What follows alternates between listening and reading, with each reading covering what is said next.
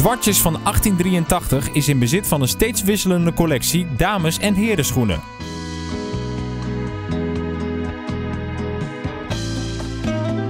Naast een regulier aanbod heeft de schoenenzaak ook een drietal huismerken.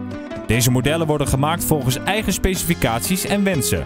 Dit betekent in sommige gevallen dat een bestaand model wordt vervaardigd in een andere leersoort, kleur of een andere leest.